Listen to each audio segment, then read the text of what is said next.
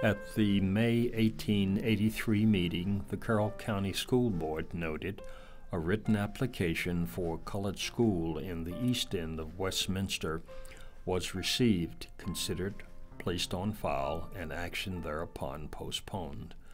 The request was repeated in early June of 1887 and again three weeks later. At the latter meeting, the board recorded Charles Street, colored, David Arlen, and other colored citizens from the east end of Westminster, and John Adams and others from the vicinity of Weston Chapel repeated their request for an application of $250 towards a house for a colored school at each place. On motion of Mr. Pugh, the request was unanimously granted. Mr. George M. Crawford became principal in 1931-32. The PTA, headed by Mrs. Mamie Dixon, and the school staff contacted Dr. L. S. James, the president of Bowie State Normal School. Dr. James located the widow of Dr. Robert R. Moton to give permission for the school to be named after her late husband. In 1932-33, the school formally received the name of Robert Moton School. Robert Moton was born in Virginia on August 26, 1867. He graduated from Hampton Normal and Agricultural Institute in 1890. Moton and Booker T. Washington became close allies, traveling throughout the South, promoting the need for economic independence and racial progress. When Booker T. Washington died, Moton became the second president of Tuskegee Normal School. Moton served as an advisor to Presidents Wilson, Harding, Coolidge, Hoover, and Franklin D. Roosevelt. In 1948, a new building was provided at the intersection of Charles Street and South Center Street. The history of the Robert Moton School is rich with a community of people who demonstrated strength when weakness would be expected perseverance when times were difficult, commitment in the face of defeat, and faith in the God given rights of equality and justice for all people. Their stories must be told, preserved, and shared.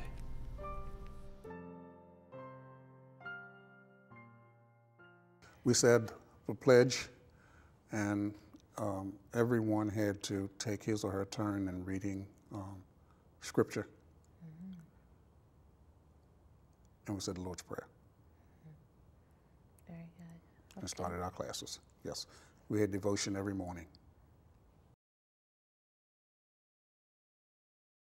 We got all of their books that were torn, pages gone out of them, and the teachers had to sort of make up what they thought might have been on the pages that wasn't there.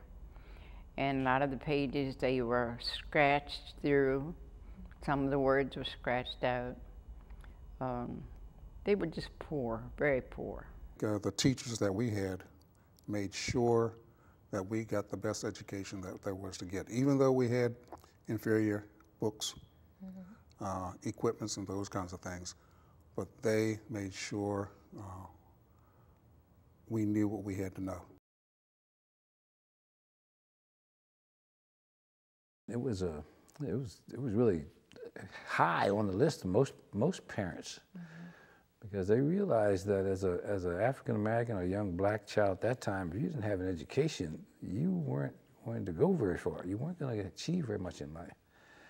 So education for most parents was a was a was a high priority. And I know my parents, uh, they were. They really had a thing about all their children getting an education. And my mother used to preach that to us all the time. If you don't get an education, your, your life is going to be very deficient in a lot of areas. So you need to get an education. And people really were um, eager for everybody to get an education, um, at least high school. Um, mm, there were seven in my family, so all seven graduates from high school from Moton. Then there was one family where it was 12 and they all graduated. So, and I think it was a struggle probably at that time to, to put kids through high school because um, you had a lot of uh, like interference, I guess you'll call it, from those who represented the Board of Education of getting young men pulled out of school to work on their farms. But uh, most of the parents rejected that idea. The parents actually paid paid for bought the bus. Uh, they used to have fundraisers and all kinds of things to, to, raise the money to buy these buses. And that's one of the reasons why they had a lot of problems with some of the maintenance of them, because they had to come up with the money to maintain them as well. Mm. Uh, so I remember early when I was a young student, Howard Davis used to be our bus driver. He used to live right next to us, two doors down from me. Um, and he actually, between the parents of Union Bridge and him, he had a little bit of money. He came up with, with the rest of the money to get the bus on the road, and then the parents paid him back for the money he put in the bus. And he was the bus driver as well. Uh, but that's how the parents, that's what the parents had to do back then to get their children an education. Uh, because the county didn't provide them anything. Because we were from the southern part of the county and we had to come all the way to Westminster. Um, and then we had to go over to Reisterstown to pick up some children. And I mean, we just had a long route to travel, uh, particularly during the uh, bad weather. Uh, by the time we got to school, schools had been closed for maybe an hour or so. So we just turned around and come on back home. It started on our side, the Union Bridge, then it picked us all up, and then it went into Union Bridge, and on the other side of Union Bridge, out to Uniontown, and then back to Uniontown, back to New Windsor, and then from New Windsor out to Marston, and back from Marston, where he picked up your uncle, and, and then back into Westminster and picked up some kids in Westminster, just outside of Westminster. Mm -hmm. So I picked them up from all of that part of the county and brought them in here. So that's probably about 30 of us on the, on the bus. I remember one situation, we had one year, a couple of years, we had a, a kerosene heater on the bus, uh, which the bus driver had sitting right next to him, but they didn't have any heat on the bus, so it got kind of cold, particularly in the wintertime. Um, and he, he assigned a couple of couple of elderly boys, seniors, seniors, to sit there and watch, hold it to keep it from tipping over as we were driving down the road. By the I guess by the time I was get, I got to be about the eighth and ninth grade, the county started providing buses for them. Rarely did it um, close the snow. I can recall one, well, near the end, a man named Galladay had a whole fleet of buses, and he used to drive us up here. But it snowed so much, he had his son stand in the door of the bus watching the snowbank so he wouldn't hit it.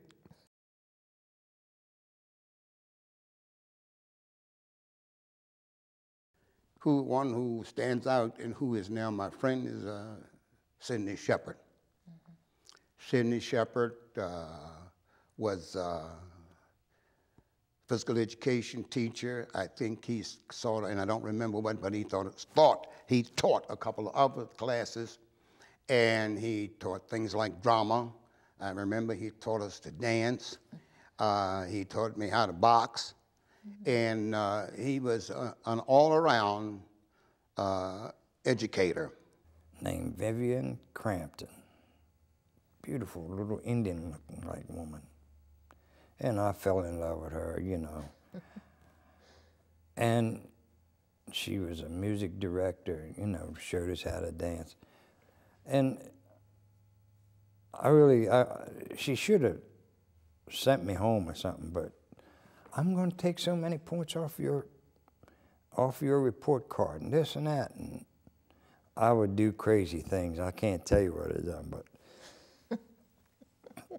you know, I was I was a little devilish when I went to school. Mm -hmm. Mrs. Shockley, she was a little tiny woman, very very um, uh, into her teaching. Uh, you know, she would, you know, we had fun, but she was determined that we were going to be educated. So, you know, she was uh, stern. And the, wha- one thing I remember about her, the green pointer that she used to have, you got your fingers cracked if you were doing some things wrong, like talking or, or not paying attention in class. My favorite teacher was my first grade teacher. Her name was Beatrice Shockley. And I thought, when I was in the first grade, I thought, oh, she was, you know, tall statured. But I found out by the time I got that she was a shorty. She was like maybe five foot, that was it. But she was such a teaching giant that it impacts my mind today of the things that she taught and the things that she did in that classroom in a multi-graded room, first through th- three. Uh, Mr. Kane, because he was our music teacher. Then next would have been our gym teacher. And then I, I liked uh, Mr. Beard. Mr. Beard was our chemistry teacher, and, and he, he was nice. Uh, Mr. Chase, he was a gym teacher. He doubled as a history teacher. Uh, Mr. Kane, he was a music teacher. He doubled as math teacher. So I mean, they, they did multiple duties. In elementary school, it was Miss Shockley because she made you learn. If she thought you didn't understand what she was talking about, she would ask you to stay at recess or when it was time to go home. And then she said, Well, you act like you didn't understand it or you weren't paying attention. Now tell me what I, was I talking about? Miss May Prince, and May Prince was uh, in charge of home economics. But uh, like uh, Mr. Gates and, and all the other teachers, these teachers had dual roles. Uh, there was um,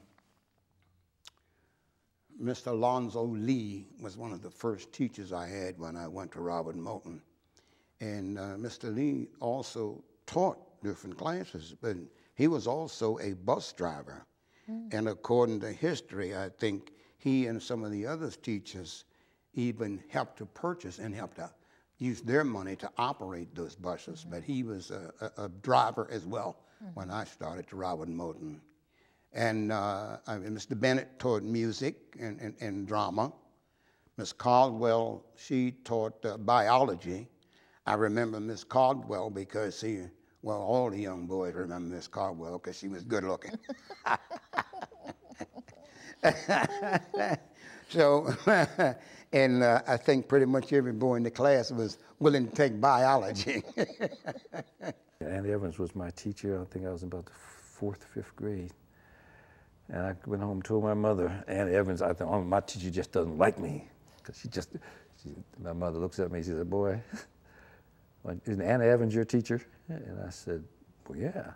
And she said, I've known Anna Evans. Matter of fact, we were the best friends through high school. I, I have known her since we were little kids. She is not going to mistreat. Don't try to give me this. She couldn't get away with anything. Miss Prince, she was just like a little old angel. Uh, you've heard of Miss Prince. Uh, we had a, a teacher named Codwell. I forget what her first name was, Miss Codwell. But anyhow, I didn't do it intentionally. I happened to bump her one day, and boy, I thought she was going to kill me. Lewis Beard taught chemistry, and I love chemistry. Science, uh, math, um, Lewis Kane. Uh, I, I, those are my two favorite subjects. And when I first got to Robin Moton, the one thing that stands out, we were in Mr. Lee's class, and he was scream, he was having he was having one of those bad days, and because at the time I didn't understand, but now I do. He was having a bad day. He was hooping and hollering and screaming, and every time you ask him a question, he just snapped your head off. And I went to ask something, and he, uh, oh, he lit into me. Whew. And uh, when he finally shut up, I whispered under my breath and I, I cursed him. Well, Miss Prince, the princess of the class, Mary Chase, was sitting in front of me, where she told on me. Lord, back there he come. He went upside my head with that big old hand, and I could feel, I could hear the bells ringing. But my favorite teacher I knew was was Miss Stanley. Miss Stanley was uh, a lot of a lot of them didn't like her, but she she kind of stood out uh, for me personally uh, because she she used to tell me all the time, I, I remember your parents. I know your parents real well. And I, I taught your two older brothers. Mm -hmm. uh, and I know if I go tell your mother, I know you're going to get a lot of trouble. Uh, I remember, remember Mr. Neal. Mr. Neal was never one of my favorites. He just passed away here about three, four years ago. Mm. He always used to come back to see, I remember you when you were a little boy and I, I had you in my class. You were a little troublemaker. But he's a great, he was a real great guy. We became great friends later on. Uh, my buddy Talkie Cooper, we would be in the shop class downstairs. Mr. Stevens taught shop, and uh, we wanted something from Charlie Coins' store. So we would sneak Talkie Cooper, the basement windows at the Robin, new Robin Moton ground level. So we would sneak Talkie Cooper out of the window, and he'd shoot down over the hill and down across Charles Street and over to Charlie Coins and get a big candy and stuff and bring it back, and we'd keep Mr. Stevens occupied, and then we'd sneak him back in. Daisy Harris was the meanest teacher in the school. Mm-hmm. She drove her from Baltimore every day. Mm-hmm. And she was, she didn't play. Um, as a matter of fact,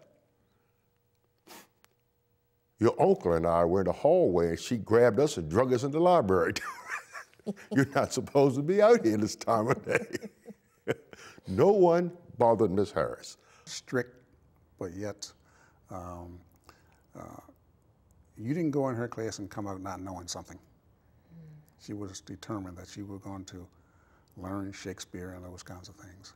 Daisy Harris, she didn't play. No foolishness. When you went in her room, you went to learn. Daisy Harris she was just such a um, a nice instructor and a nice disciplinarian and all the things that you look for, you know, in a strong teacher. Daisy Harris was stern. But,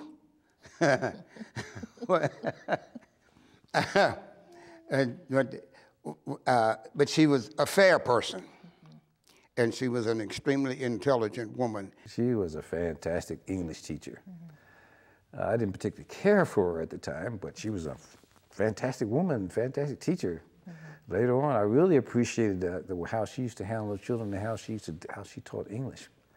All the students came out of Rod Moton had a good, had an excellent tutoring and education in English.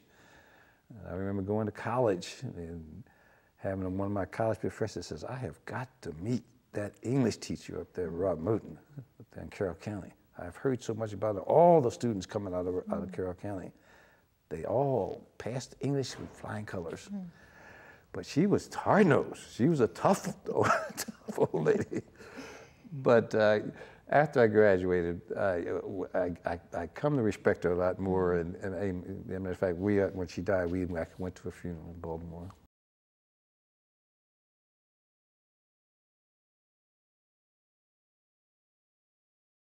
I, I, I admired uh, Doc Crawford. He was a, uh, uh, forthright, uh, sturdy man. Mm-hmm. when he walked, he walked with authority. When he spoke, he spoke with authority. And he was one to be respected. And I respected, I admired uh, Doc mm-hmm. Crawford. He was very stern, serious about the black children learning. He said, if you don't learn but one thing a day, you have learned it for life. I got kept to school in seventh grade because I know the word osmosis. Dr. Crawford taught science, right? Mm-hmm. And the, on the test was the word osmosis. I don't know what osmosis is, you know. I stayed up to school telling them what osmosis was. That's how it was. They made sure you lose something. And I'll never forget that word taught me, you know, a liquid going through membrane to thick. Oh, he went through the whole lot. I know now day osmosis because Dr. Crawford, seventh grade came after school.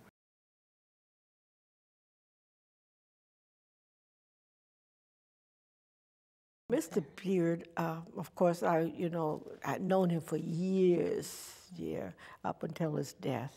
Uh, he was a rather gentle person, mm -hmm. uh, very encouraging, Mr. Beard was, I guess, one of my favorite teachers. Um, he became my principal the last year that I was at Moton. Before that was Mr. Gates. And uh, him and I became good friends when he became principal. Also, he was my homeroom teacher. She was tough as a teacher, so I know she was tough as a principal, but she just, she was dead serious. You didn't play in her class. You try it, I did.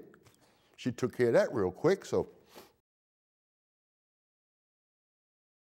I'll tell you a story.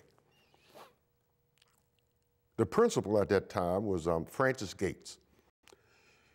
And Mr. Gates must have thought I was his son, because I'd go to school and he'd give me his car keys if something had to be delivered somewhere in the county, I drove his car.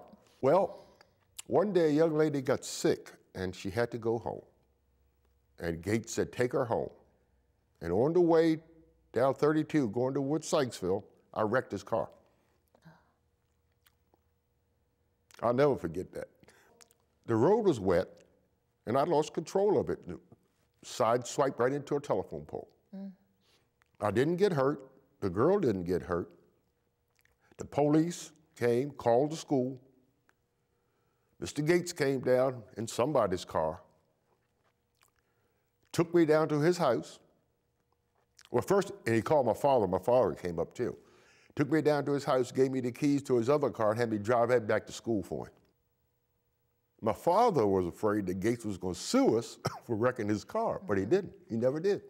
He never said another word about it. So when I finished high school, I had said, I'm going to go into the service. And Gates at the time said, Oh, no, you're not. You're going to college. Mm-hmm. And of the 28 students in that class, at least 10 went to college. He used to take, he used to get personally involved in all of his students' lives. I mean, I mean, personally involved in terms of the rumor mill and, and and because he was interested in who you were dating and who was dating who and so it, we had, we used to have a lot of problems with him that way. But other than that, he was a great principal. We was call ourselves trying to play a little hooky, and he caught us. So he used that paddle that my brother was talking about with the holes in it.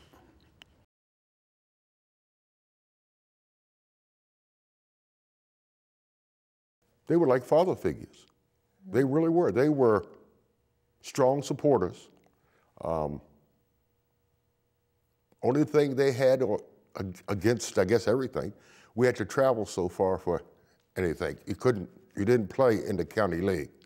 Mr. Shepard was, uh, I'll tell you, he was stern in his field, you know. I mean, he, he wanted to get perfection out of you and uh, he was he wasn't no hard fellow to get along with, but he just didn't want to play.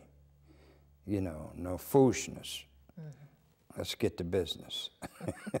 and that's the type of chap he was. When I came, you know, college schools, you had to teach more than one thing to begin with. When I came here to Robert Moton at that time, I had a class in uh, uh, ninth grade math. I also had a class in world history and also United States history. So we taught at least two or three classes besides phys ed. I had less phys ed than I had other classes. See, Robert Moton was, was a small school. I don't know what the enrollment of the high school alone was, but I doubt if it was 70 students in the high school. Well, in order to teach, each teacher had to teach several subjects. Uh, for example, I taught eighth grade science. I, my assignment when I came was to teach boys physical education, eighth grade core, and eighth grade science. Uh, when I went to high school, Daisy Harris taught me. She was not only the she taught English, she taught music, she taught art, and she taught French. Uh, so one teacher had to teach many subjects. Best part was you got to know the kids uh, throughout the school, the, the, whole kids, rather than just gym classes. I knew him in the history class, you know, and, and other subjects. So that was good to know. The kids knew us and we knew the kids individually. And that was uh, very important. We got to know the kids and the kids got to know us. By and large, most of the students were very good students. Not only that, I not only knew them, I knew the parents, I knew the grandparents because I'd gone to school with their parents or older brothers and sisters. So uh, they couldn't act up in my class because they knew I knew who to tell. Most enjoyable thing, I think, was coaching basketball. Uh, at that time, in most of the schools, Maryland, uh, black schools especially, the most important interscholastic sport was basketball. Unfortunately, basketball was very demanding. Uh, first place, athletics had to pay for itself. The nearest, uh, we were segregated. So the nearest black school to me, I guess, was Banneker High School in Catonsville or Carver High School in Towson, Lincoln High School in Frederick, uh, Central, I mean, uh, Grace Consolidated High School in de Grace, Bel Air High School in Bel Air. These were the schools on my schedule. Uh, since the program had to pay for itself, I had to make enough money to, number one, buy a uniform for my players. Number two, I had to pay enough money, make enough money to pay for a bus to carry them to Banneker or to Bel Air or to North Street High School in Hagerstown uh, I had to make enough money to pay the officials to uh, officiate the games. And, and to do that, you had to charge admission. Uh, to make a couple of extra pennies, we sold hot dogs and sodas. So I had to somebody to operate the concession stand. Then we formed an athletic association. Uh, I think for, ten, for 50 cents became a member of the Athletic Association. That entitled you to come to Robert Moton High School Thursday for recreation night. You know, we could play table tennis. Again, we sold hot dogs and sodas. It had a record player so you could dance to make a little extra money. And as a member of the Athletic Association, you got into the games for half price. Uh, so making money to, to operate was, was, was, was, was the biggest problem. But I still had to pay only for the bus. So if we were carrying girls and boys, say 24, 25 players, and, and the two coaches, so that meant I had 25, on a 40 passenger bus, I might have 15 or 20 seats to sell. So my job was to fill up that bus, to help to pay for the bus. So sometimes I'd put five boys in my car and follow the bus to the game and sell those extra five seats to, to pay for the bus. And our fall sport, uh, interscholastic sport, was cross country. So I used, in order to get cross country to run two miles, in order to get guys to go out from to, for cross country, I told them I was going to pick my basketball team from my cross country team. Well, that did two things. It made my made sure that my basketball team was in condition when the season started, but it got me competitors in, in the cross country. We had a pretty good basketball team, uh, 58, 59. Oh, we had Thomas Magruder, Richard Hill, David Woodyard, Joseph Shepard, myself, Herbert Brooks, mm -hmm. Charles Davis. I think that was, and uh, you know we we were good. We were always outnumbered fan wise, and all the other teams had more players than we did. Mm -hmm. But it was just the fact that Stan Chase made sure that you were as prepared as you could be when you got there. We had gotten to the point that whites didn't intimidate us. Uh, you go to a school, the worst place we ever, I think we played was Mount Airy. They just didn't like us down there. Um, but other than that, we weren't, we knew that if we went there acting stupid, he'd throw us off team. We also had track. Uh, we didn't have any facilities for track. In fact, this school was built, when they built the school, they cut the top of a hill off and to make it level.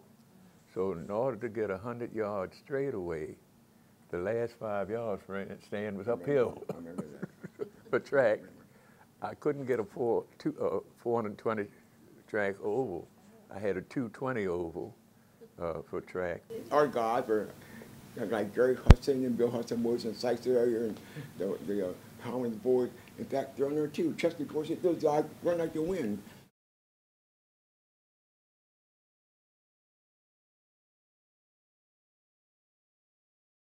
Oh, this is our 1956 girls basketball team. Uh, we had a lot of fun. Not that we won a whole lot, but we won our share.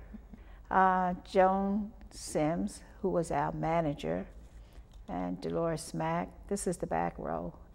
Jeannie Magruder, Rosalie Cooper, uh, Dolores Morrison, who we call Fizz, and our coach was Marlene Preston the front row, Anna Woodyard, Joan Lee Sims, uh, Jane Milbury, Mary Charms, Frances Thomas, and Dorothy Jason. That was our 1956 girls basketball team. Yeah, you couldn't run back and forth like they do now. So on one side would be the opposite teams forward, they were the shooters and my team's guard. All we did was guard, we couldn't shoot. You could only dribble the ball two times. So we didn't do a lot of moving. but that, that's how we played. We did not run up and down the court like the boys ran up and down the court, but the girls only could play half court. When I came here, the attitude among the boys was that if you did not live in Westminster, you couldn't play sports. Uh, and the reason they thought they had that because you couldn't get here. So I told them, if you can get here, I will see that you get home. So after practice at nine o'clock, I might put four or five boys in my car and take them to Union Bridge. Your father would wait here for me. Then I'd come back and pick him up and Chubby and, and, and, and, and carry them down toward Ricestown they got off, where they went off across the river. On game night, the same thing would happen.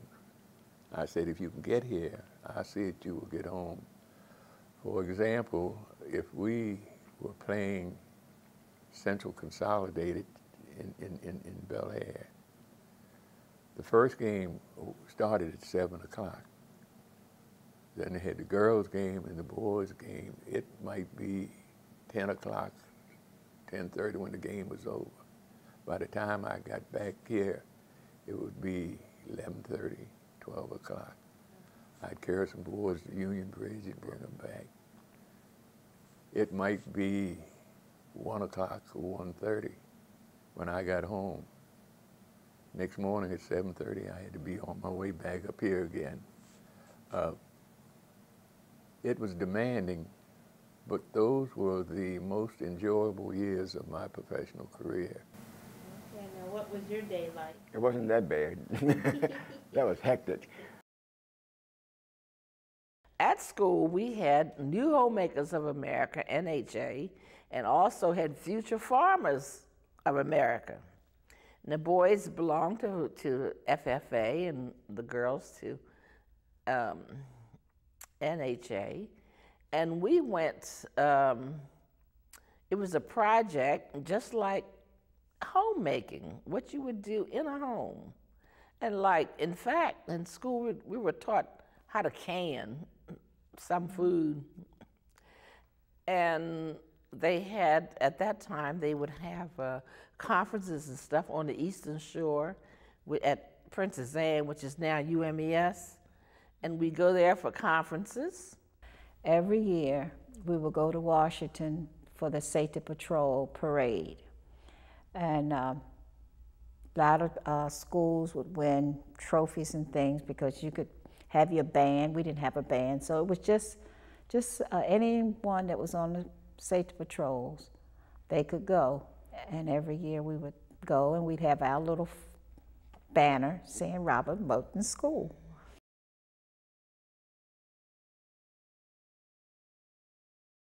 He started the Carroll County chapter in 1953, and um, he'd always traveled to Baltimore to the NAACP meetings. Uh, they always met at that time in the Sharp Street Church in Baltimore, and uh, I'd always ride down with him, and and sometimes I'd sit in the car, and sometimes I could sit in the back and keep my mouth shut, of course. But yeah, got to see a lot of people that ordinarily I wouldn't have got to see. And uh, Martin Luther King visited there one Saturday. He was the guest speaker. Thurgood Marshall, uh, Lillian Jackson. Of course, she was the sort of they call her the mother of the NAACP, as you might know, and uh, the Mitchells. We'd always go and play with the white children in Union Bridge, play sports and all with them, and during the summers and basketball, anything. But uh, going to school was, ooh, that was different. That was a shock to me when I realized I wasn't going back to Robert Moton in the seventh grade. My dad told me three weeks before school opened up, yes, that I would be going to Elmer A. Wolf.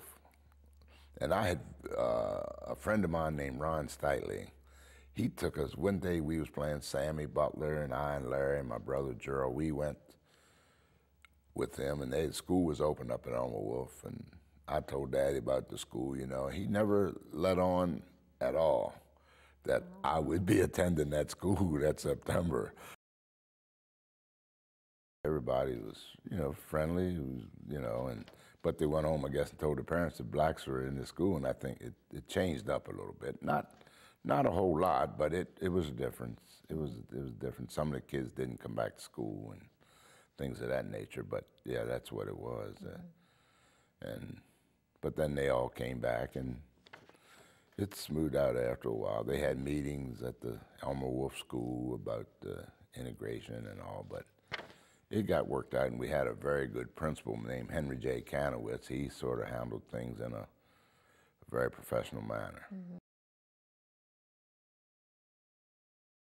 I knew everybody at Rob Moton at that time, and and and all my buddies, you see, were there, and so, and then I come to a, a, different school, and of different color also.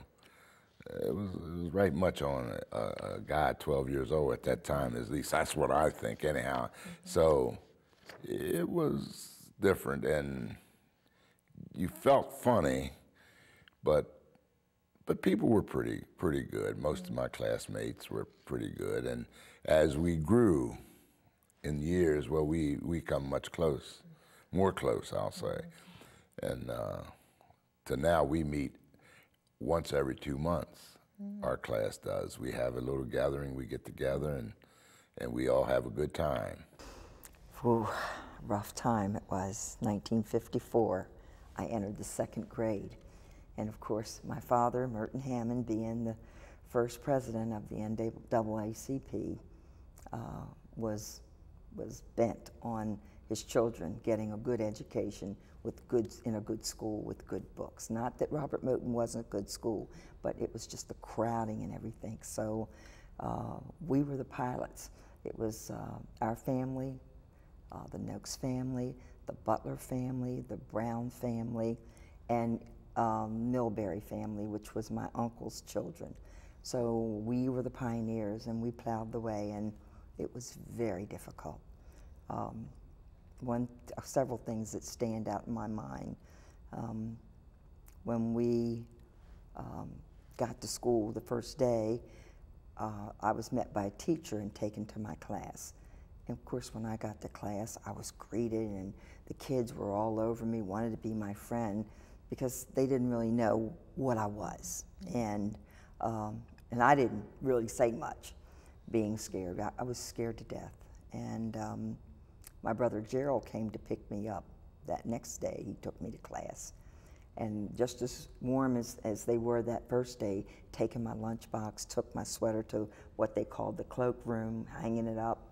Well, when they saw my brother, immediately they were calling me nigger and and they said, you know, they, they dented my lunchbox and my sweater had footprints over it where they had taken it down and walked on it. So it was awful. And I mean, the first day was so good and mom said, you got along fine. And I was saying, yeah, I want to go back. The second day I came home in tears. And I told her, I said, I don't want to ever go back there. And she said, but you have to, baby, because she said, this is the best thing for you. And I mean, it was so much uh, of a burden to my older brother and sister. They, they did not finish school. They, they dropped out because it was the pressure.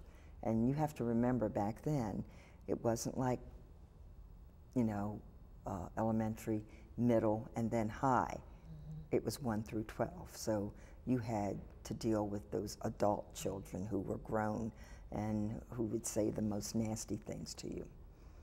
Uh, it was very difficult. Um, to the point where when we got off the bus in the evenings uh, and walked back our road, young men that were, that were driving to school would bring their cars back and run us in the field and call us pickaninnies, niggers, you name it.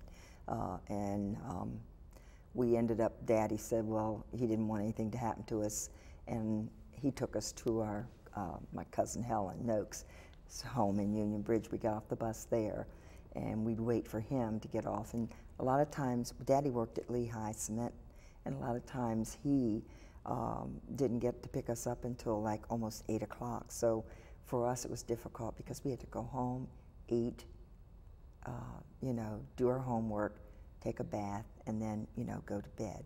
So it was, it was rough. It was really rough. I can remember an incident in the fifth grade. Um, teacher's name was Mrs. Mitch. I think she was from West Virginia. Husband was a pastor. Because of my nerves, I mean, I was just on edge, you know. I had a few, I had friends, a few friends that were uh, Caucasian, but for the most part, I just felt so alone because I was always the only one in my class. And um, we would do the pledge in the morning, we would do the prayer, a patriotic song, and we would listen to the, you know, the media over the loudspeaker about what was going to go on that day in school. And I was in class that day, and I had on a pair of shoes where my foot would come out of. And I was always like shaking my leg because it was nerves. I knew what it was. I know now what it was. And um, she told me, she said, put your shoe back on. And the kids started snickering and saying, her feet stink, her feet stink, and, you know, just nasty little things. And she actually came over, took my shoe, and we were on the second floor. She threw it out the window, and I had to walk down two flights of stairs in tears, embarrassed, and get my shoe and walk back in. And when I got in the classroom, it was just a heyday. So that was another awful day in my life. And I can remember when I got home telling mom, and mom said, what she called daddy, daddy's um, um, um, nickname was Jazz. She said, well, when Jazz gets home, we're going to tell him about this. And of course, I explained to Daddy what happened. He said, get in the car, took me back up to Elmer Wolf School, and I'll never forget the principal at the time was Mr. Gilbert Perrin, a very sweet and gentle, understanding man. And he didn't like foolishness, and he didn't believe in you being different. Everybody was to be treated the same. And when Daddy made me explain to him what happened. He said right away, he said, Now, I can't believe he called me his little singer. He said, You being my little singer, because he also taught music, and you wouldn't come and tell me. And I told him I was afraid. He said, Never be afraid. And he said to Daddy, he said, Mr. Hammond, it's in your hands as to what you would like for me to do to her, because he said, That is very, very unacceptable. That's not a teacher's that's not the way a teacher should act. And he said, if you say that she really shouldn't be in this school, he said, I'll get on the phone and call Samuel Jenness, who was the superintendent at that time. And he said, and we'll, we'll, we'll make amends and get a substitute until we can cover it. And Daddy, being a, a, a man of the Bible and you know, and a, and a father and a family man, said no. He said, but I expect her to do an open apology to my daughter. He said that was very rude and very nasty. And the next morning, um, when we got in the classroom, after all the exercises that we always went through were done, uh, she made the class settle down and she said that she um, did something that a teacher should never do. And she explained to them that what she did to me was wrong and that she, she publicly apologized to me and came over and hugged me. And I don't know how she felt about doing it, but she did. And what's so funny is um, she and her husband stayed in this area uh, after I was out of school, and I would run into her on occasions in Westminster. And do you know that lady would always come up and hug me and ask me how things were going and telling me how she's how you know she's proud of who I became and whatnot. So it was almost like what happened made her respect me just a bit more. Mm. Everybody says to me, I, I can't believe you're not bitter. And this was my answer, and it was then, and it will always be that way. My parents raised me to respect people no matter what. And my, my daddy and mommy always said, don't ever let anybody see that they've got more manners than you. Mm -hmm. So, what I, you know, in, in, in, entailed during those years was like a growing experience for me because it made me a better person. I always gave this same adage to my boys that dad always told me. He says, in this world, you can get anything you want if you have an education and you work hard. Um, 1954, I guess. I was only about 11 years old at the time. Uh, I don't want to take up too much time with this, but my, my, my, mother refused to let us go when they first integrated the schools. Uh, I think they integrated them the very next year after the law was passed. And uh, it started right there in Union Bridge. Union Bridge uh, at Elmer Wolf High School and, and, of course, at New Windsor High School. They were the first two schools to integrate in, the, in this county. Of course, we lived in Union Bridge, and they had a big meeting with the NAACP, and they came into the county trying to, discussing this and trying to, you know, to, to facilitate this whole integration. Mm -hmm. And my mother just said, I am not sending my, young, my two youngest children up there. I said, my two older boys, they old enough, they can deal with it. But uh, of course, I was one of the, my sisters, I was the youngest. She said, I don't think my younger children are ready for this. this. I'm not sending them. So we didn't go. Uh, a lot of them did. A lot of kids went. I know still have friends like Pernell Hammond, Hammond. Mm -hmm. He's called Jazz Hammond. He, he, all his family went. The Butler family went to New Windsor. Okay, but we didn't go. None of my brothers and sisters, we didn't go initially. It wasn't until, until they opened Francis Scott Key, which was in 1958, 59, 59, I guess it was, that we went. Of course, my two older brothers had already graduated by that time, and my sister and I were still left. Um, and my mother, by that time, my mother had passed away. And uh, I remember my father came to me and he said, son, you're, you look like you're old enough now. I think you're old enough you can handle a lot of these problems you're going to face. So, but I'm going to let the decision up to you. You're, you're, you're older than your sister. uh, I don't want your sister to go up there by herself. But so if you want to go, and you're going to be a senior. He said, but if you don't want to go, I'll, I'll let you stay at Robert Moton. But I'll, you make the decision. You don't have to make your own decisions now at that time, I thought we were deficient in, in our education we were getting at Robert Moton because I could see I could see the differences in the mm-hmm. schools even then. Uh, but I and I knew I was going off to college, and I wanted to I wanted to get the best education I could. So I reluctantly, really, it was a reluctant decision. I finally made the decision that I was going to go up there for my senior year because I wanted I wanted to I wanted to be able to to get into any college that I was trying to get into. Mm -hmm it started where all my friends, all of a sudden, when they found out that I had transferred, my father had signed my sister and I up to go to, uh, they all started giving me a hard time. They, oh, I, we were the, I don't know what happened, like the whole world just descended on us. Uh, no, all my, they wouldn't even talk to me. They'd give me a hard time about all kinds of, and I felt like just ostracized. Uh, so I had said, well, I think I think I made a mistake here. I'm gonna, I'm going to change my mind. So I really looked into it. and They said, yeah, you can change your mind if you don't want to go. So I was about to change my mind. So one day I got summoned to the principal's office. Now, I'm still around Moton now. And of course, immediately I thought I'd, like, oh, use, I'd got in trouble again. And I said, my father's going to kill me. you don't get in trouble again at this age. And I walk in the principal's office, and there's the principal and, and the superintendent of schools. Well, I knew who he was because he, he used to come over there quite frequently. But I'd never, never got close to him. Mm-hmm. And I walk in and I sit down. The principal tells me to sit down. I'm saying, what the heck am I in here for? And then he walks out, leaves me with the superintendent. I'm wondering what the world's going on.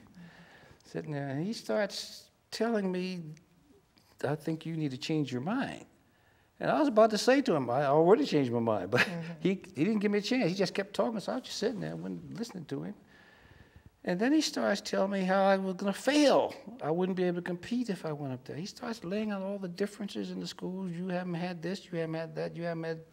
They're going to be teaching foreign languages up there. You haven't had foreign languages. They're going to be teaching mathematics and trigonometry and algebra. You haven't even had algebra yet. And you, what makes you think you're going to be able to compete if you go up there? So your principal tells me you want to go off to college. You're not, gonna, you're not even going to be able to graduate if you go up there. He's telling me all this stuff. Mm. And I'm sitting there saying to myself, what is this? I, I got angry. and I said, I said to myself, now I was already gonna, wasn't gonna go, but now you're making me mad. So I finally, he kept going on and on, and I finally said, I don't mean to interrupt you. You've been, I, you've been talking for almost 15 minutes, and I, so I think I can save us both a lot of time. I had all made up my mind that I wasn't going, but after listening to you, uh, yeah, I, I know I'm going. I'm going up there, and I'm going to graduate. He says, "Well, I don't think you're going to." I said, "Well, I, you, that's your opinion." I, I said, "I know all those kids. I know all of them." I said, "They're not any more intelligent than I am. As a matter of fact, a lot them a lot less intelligent than I am." I said, I don't know quite what I'm going to face when I get there. That may be a little bit difficult to me, but I know I can handle the academics. So I will go up there and I will graduate. And he said, Oh, I see. Then I think you, he said, Looks like you've made up my mind. I said, Well, I hadn't, but you, you just forced me to change my mind. I mean, just look at it. When someone just studied, I, like, he was just putting me down. The more he talked, the more I felt like he was just putting me down, putting me down my entire race, me personally. I, you don't even know me. Right. But you're sitting there telling me I can't, I can't compete. Uh, so that, that was the end of that. I went. Uh, it was, uh, like I said, it was like a, like a different world. Uh, being an all black school to, to this integrated school. Uh, I had a lot of problems initially, early. The, the, first first day we were there, there had the police all there, and you know, all those problems. And the parents, we all some of the parents were there, even though they'd already gone through this once before. At Elmer Wolf, they were still there for the first week. Uh, some of the teachers would give me a hard time. A lot of them, some of them were great. I remember this one math teacher, uh, Mr. Chilcote. He said to me, he said, "Young man, you look like you uh, you are really got you understand mathematics." And he said, "I see you by your record, you haven't had a lot of training in math. You haven't had anything in math." Uh, but he said, "You've got the basics. You still understand a lot of this." So they gave me a test because I wanted to sign up. I wanted to take classes like trigonometry and all that. And they said, "No, you you don't have the prerequisites to take these classes." I said, "Well, I'm here. I'm, I'm, I'm, I'm so we kept arguing, going back and forth. And finally, I said, "All right, we're going to give you a test. And if you can pass this algebra test, then we will let you take class." I don't think they thought I was going to pass it, mm-hmm. so they gave me this test, and I, I almost maxed the thing. When I didn't, when I didn't have a class in, in, math in algebra, I almost maxed the test. Mm. But they'd already told me they would let me in, so they couldn't backtrack now. So they had to let me let me take these classes. It was it was pretty miserable initially until the athletics started. Once the athletic program started, and I wound up as one of the top athletes there. Very quickly, things started turning around as far as I was concerned. But there was still a lot of problems with a lot of other, lot of other children there. I mean, one of the problems we had, remember I said we rode the bus from Union Bridge? I said to myself, I can probably, I can sleep in in the mornings now, finally, when I went up, when I went to Francis Scott Key. Well, I didn't. They put us on the same bus. The same bus that we rode from Union Bridge to Westminster, they put us on the same bus to take us to Francis Scott Key. Well, we were there in five minutes, six, seven minutes, I guess it was, from our house to Francis Scott Key High School. So we got there about 6.15, 6.20 in the morning. The school wasn't even open. Mm. So there's 15 black students sitting there all by ourselves every morning. So for the entire year, we were there every morning before school even opened. What time did school open? At 9 o'clock then. We were there at 6, 6.15, 6.20. You can't put 15 students out there by themselves with no supervision. I got called in the principal's office and I was told you are going to be responsible for all, all these students, all these black students here. You're, you're a senior, you're, you're old enough, you can control them. And wait a minute, wait a minute. I, I'm out there with them, but I, I, I'm not, you can't hold me responsible for these children. I mean, I'll do what I can, but I'm not going to take the responsibility for it. So invariably, there were some problems.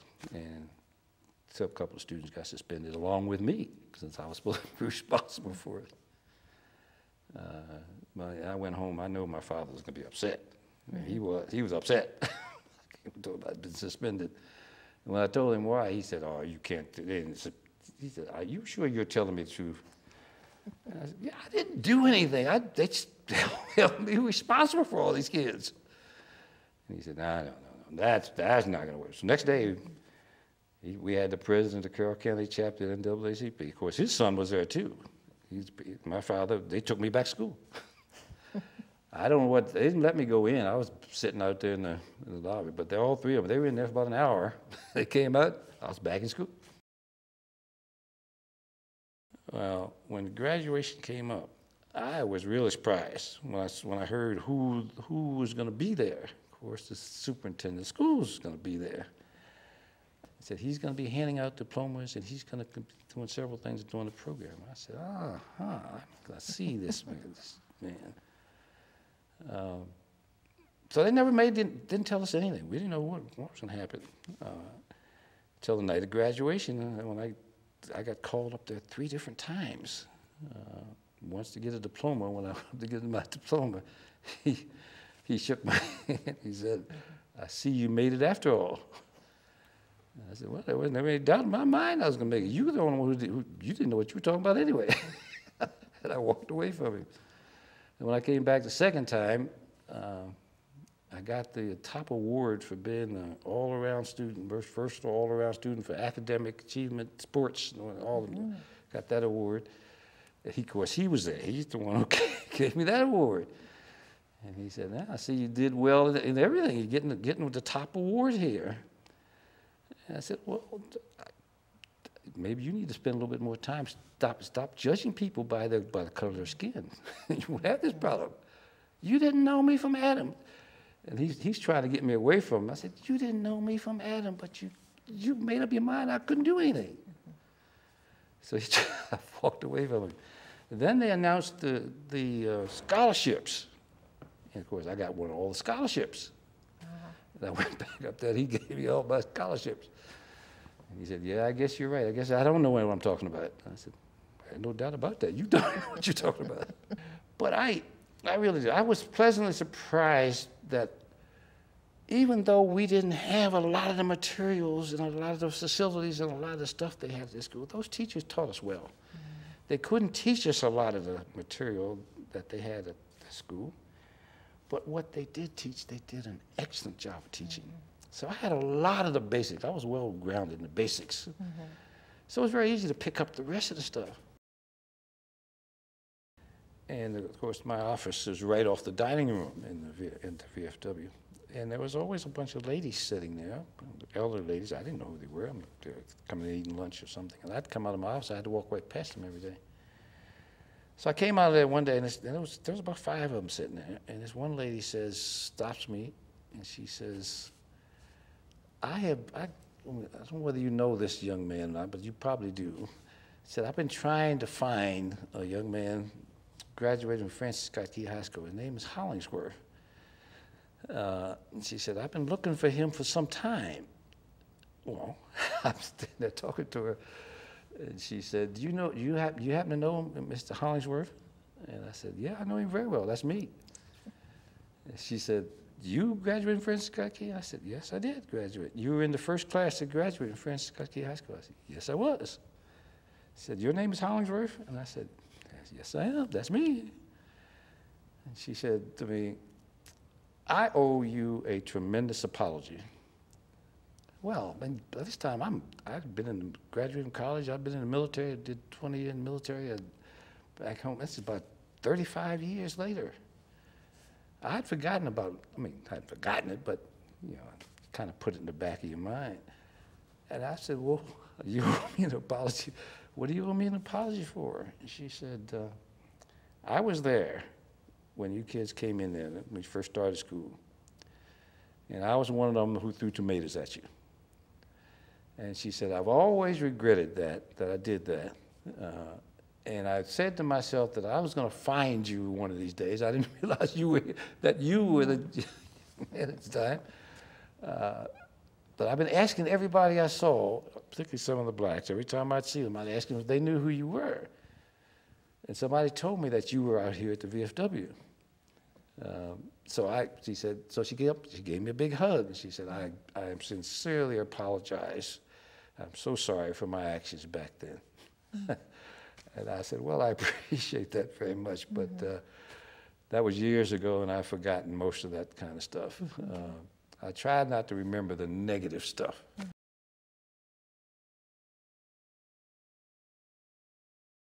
No matter where you come from, you can be something if you work hard at it. You know, it's not where you come from, it's, it's where you're going.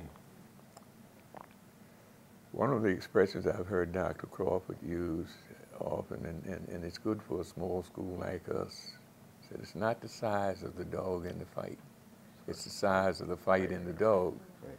And, and, and that's the reason uh, most of athletic, athletically, most of the schools that we competed against were larger than we were. But we didn't back down because they were larger than we were. I have two grandchildren who are coming along a granddaughter who's 17 and a grandson who's 12. And we talk quite a bit about how things were when, when I was in school. And I don't know why they just skip their mother, they just do. but they, they love the stories, to hear the stories of how things were when we were in school. Well, grandmom, you know, things aren't like that anymore. That's why I'm telling you this, because I want you to make things better in your time. Uh, it, it's, it's part of history, I think. And it's not something that they are used to getting. They're not going to get that in a book. Their stories should awaken in all of us the importance of Sankofa. Sankofa comes from the Akan people of West Africa. Sankofa teaches us that we must go back to our roots in order to move forward. That is, we should reach back and gather the best of what our past has to teach us so that we can achieve our full potential as we move forward. Whatever we've lost, forgotten, or been stripped of can be reclaimed, revived, preserved, and perpetuated.